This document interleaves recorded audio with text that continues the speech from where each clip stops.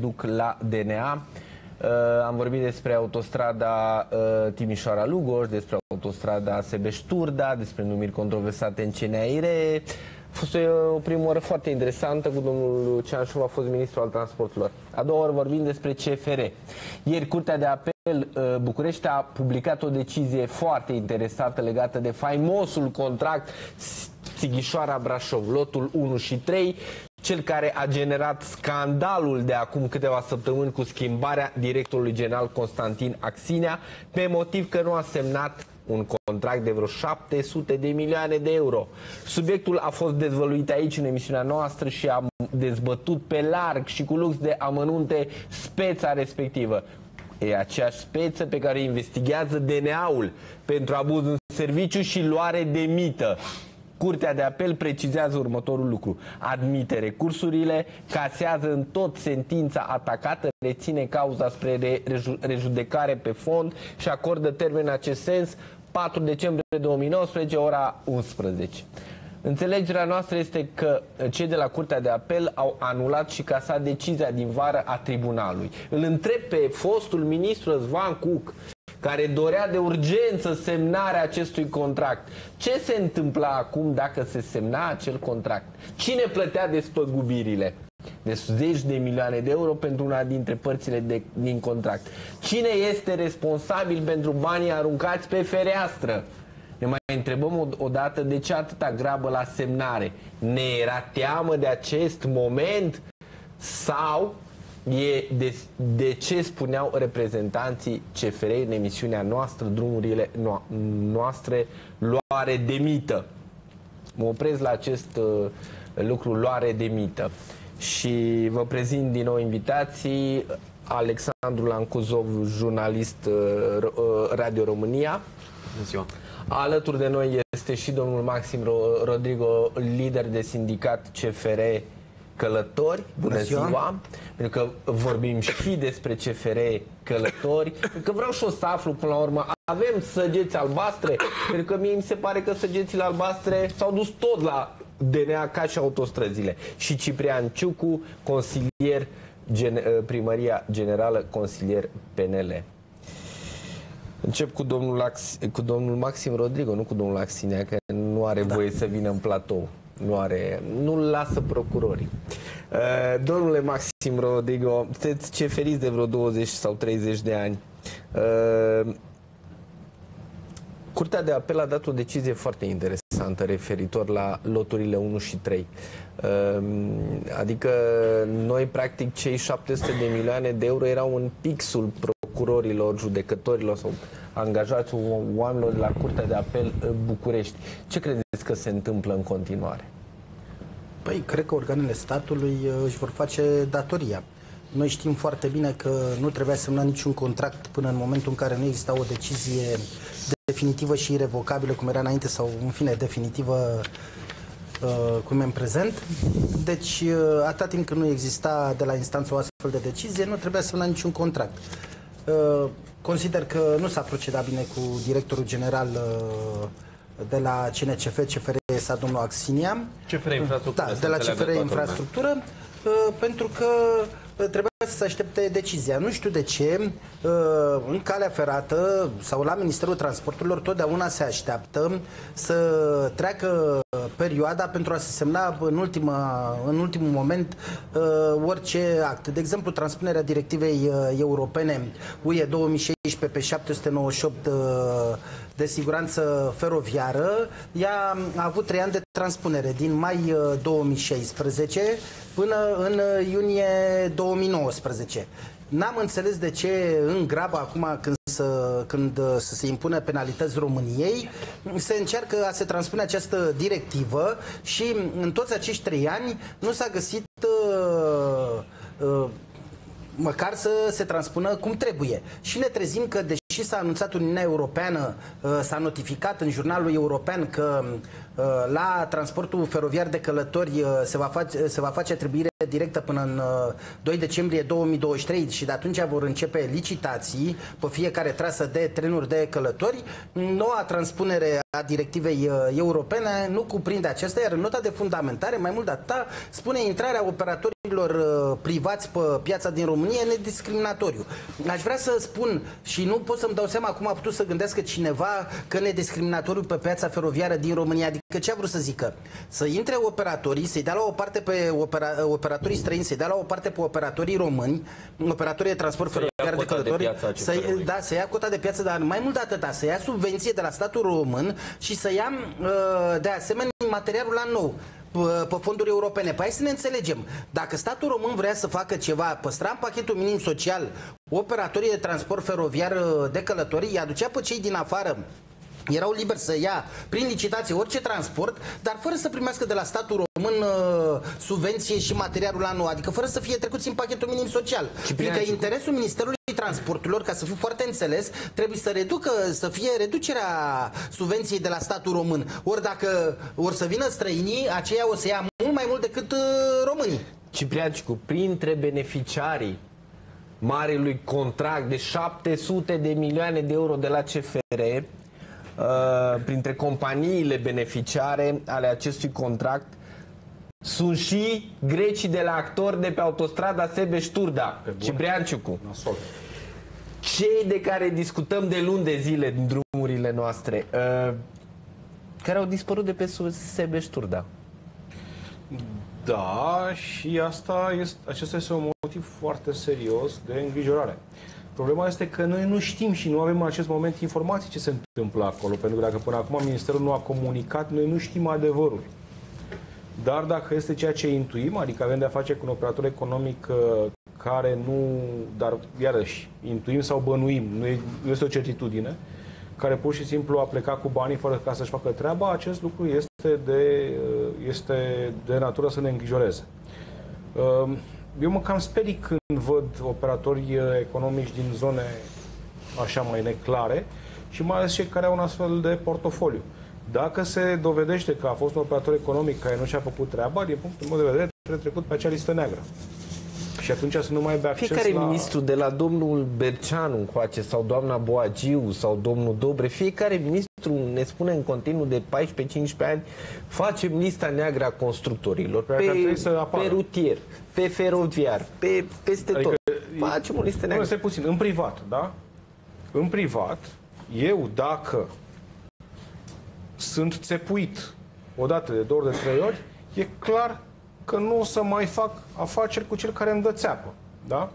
De ce în sistemul public, de ce în sistemul public, dat fiindcă există și o practică a Comisiei Europene aceasta, adică nu e ceva inventat de noi, dacă am operatori economici care îmi dau țeapă, da, și am chiar hotărâri în justiție în acest sens, mai ales dacă, atunci eu de ce nu aș introduce acest instrument?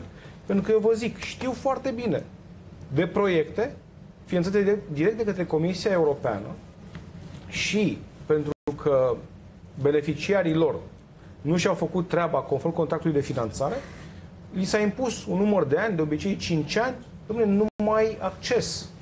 Da? Nu mai acces la licitații. 3 ani este da? Sau 3 ani.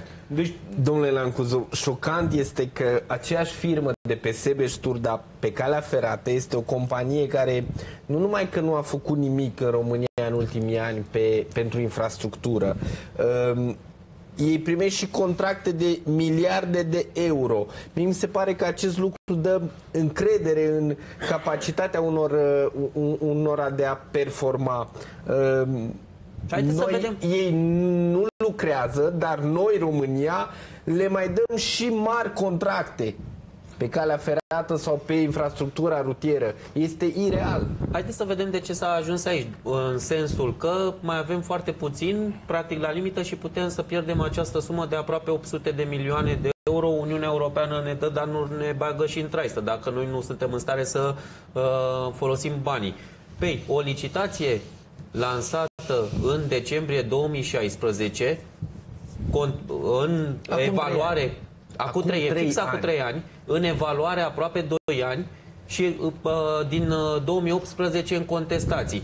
CNSC, Consiliul Național pentru Soluționarea Contestațiilor, Tribunalul București, Curtea de Apel București și acum întoarcere. Deci, practic, din patru ani cât ar fi trebuit să dureze lucrările, au trecut trei ani de la lansarea licitației și nu că n-am început lucrările, nici măcar nu vedem se, uh, posibilă semnarea contractului.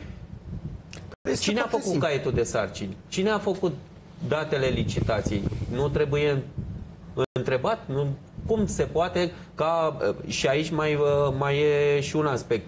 Decizii întoarse în instanță. Totuși nu există în marja acelui procent de 5%, pentru că între uh, decizia CNSC-ului și poate a tribunalului și decizia finală a instanței există acel procent de 5% în care uh, decizia finală nu corespunde, practic e întoarsă, nu corespunde cu decizia instanței inferioare. Dar dacă în acel procent de 5% avem contracte de op- un contract de 800 de milioane și 10 contracte de câte 10 milioane de lei, spre, 8, spre deosebire de 800 de milioane de euro, ce facem? Problema este caietul de sarcini uh, și cine întocmește caietul de sarcini, pentru că este inadmisibil ce se întâmplă la noi în România. Dacă vrem să blocăm ceva, le mergem până la licitații și acolo încep contestațiile. Cum uh, v-am spus, uh, pe exercițiul financiar 2014-2020 erau 80 de rame electrice noi a fi achiziționate întâi prin Ministerul Transporturilor și din 2017 prin Autoritatea de Reformă Feroviară.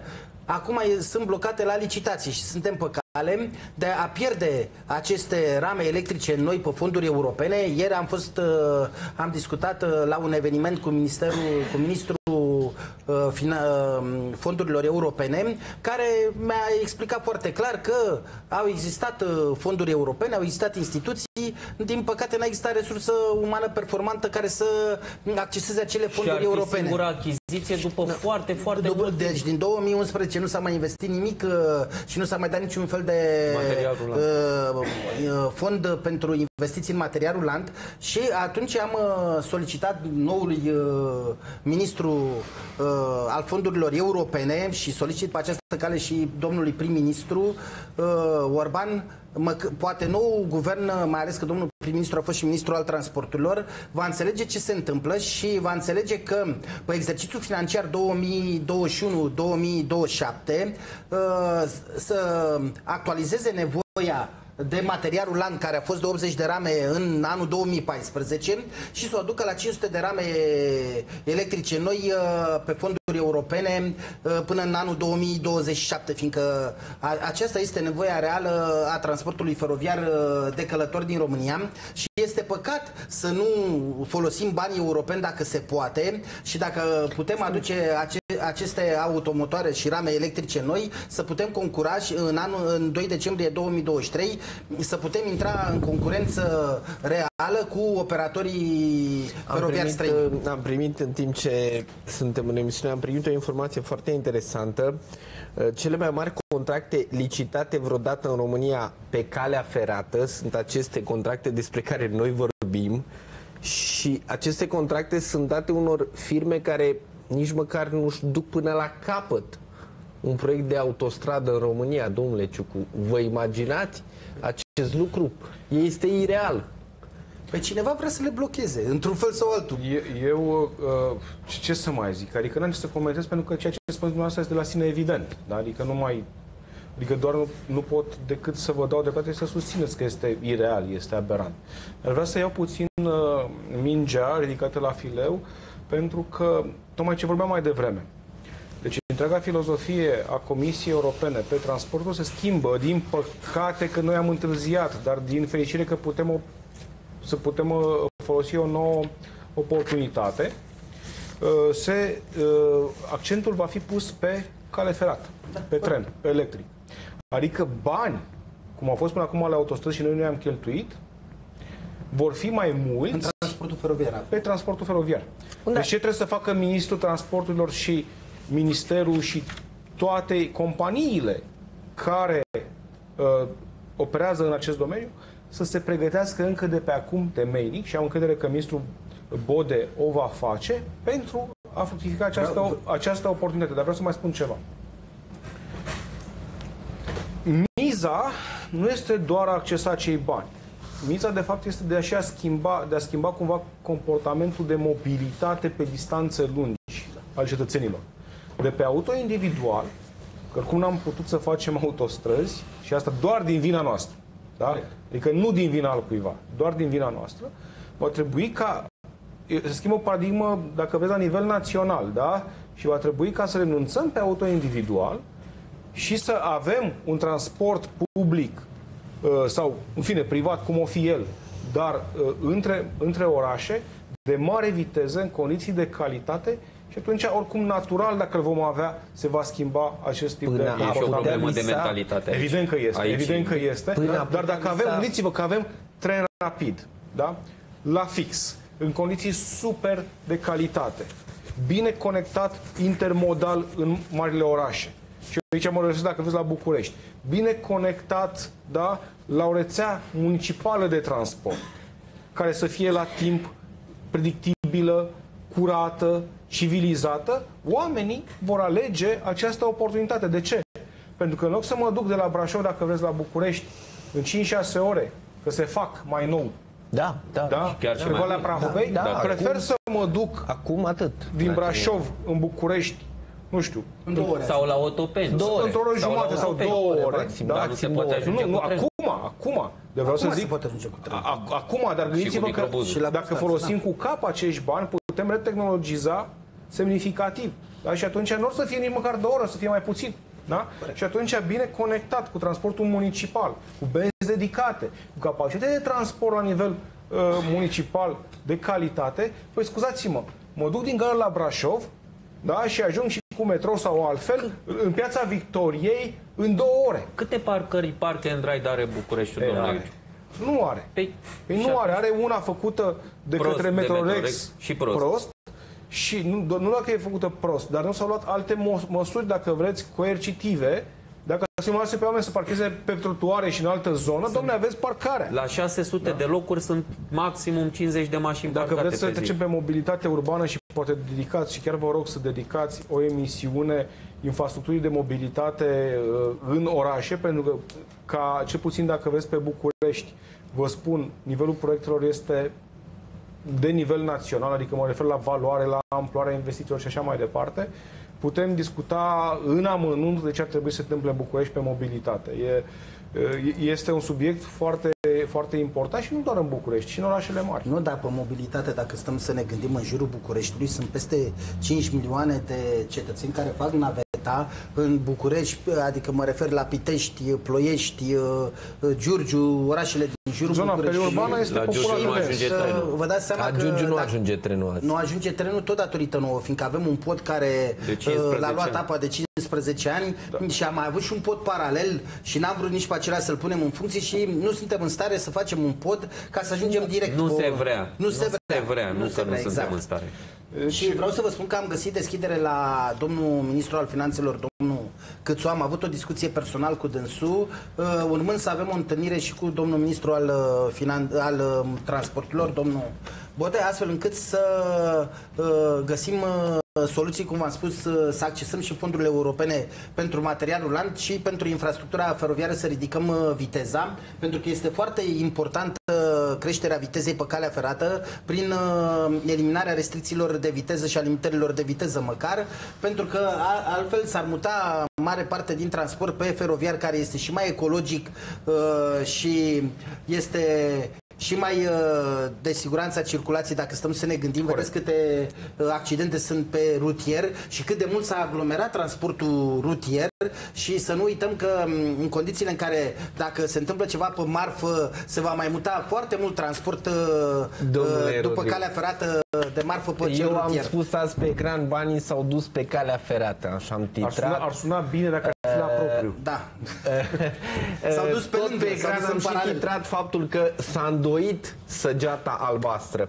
Iau prima pauză de publicitate, după pauză vorbim despre săgețile albastre, terenurile care ar trebui să ne ducă la mare, la munte. Din păcate nu le avem. După pauză vă spun și de ce sunt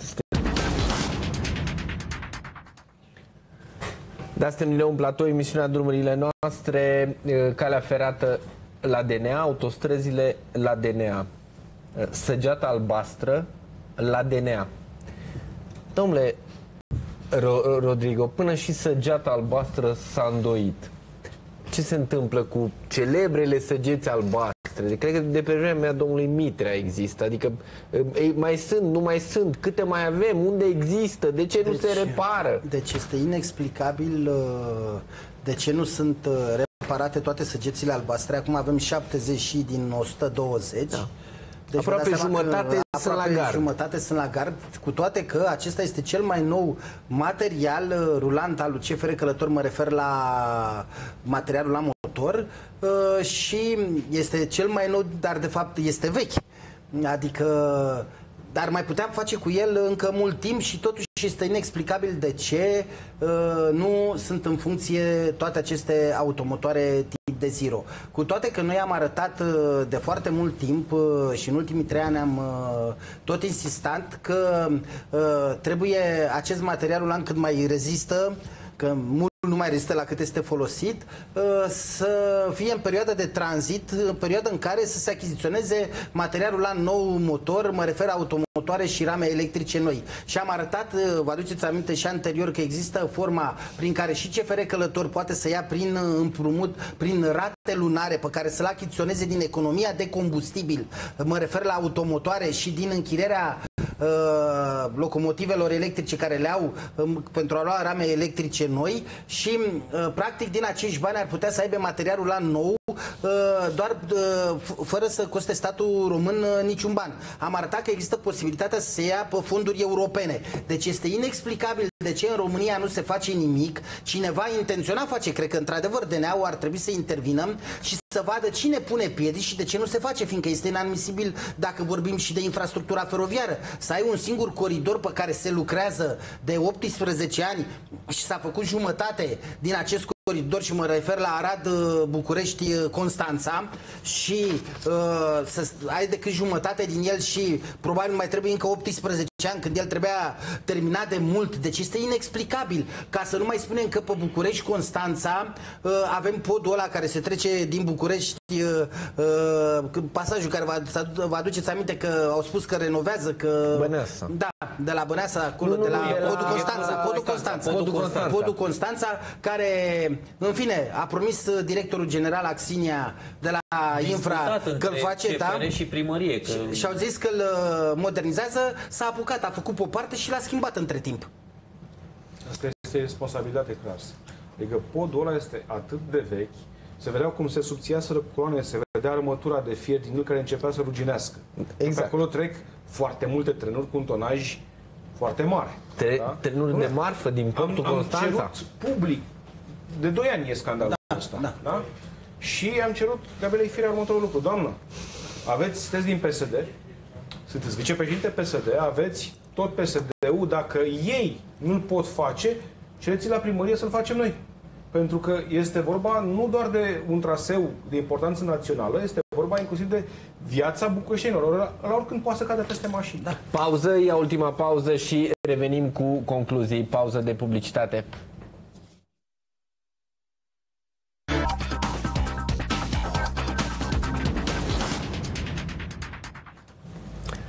Suntem din nou în platou, emisiunea Drumurile noastre, autostrăzile la DNA, calea ferată la DNA, săgețile albastre la DNA. Mi-am adus de aminte săptămâna trecută, noi în fiecare emisiune prezentăm subiecte și documente în exclusivitate.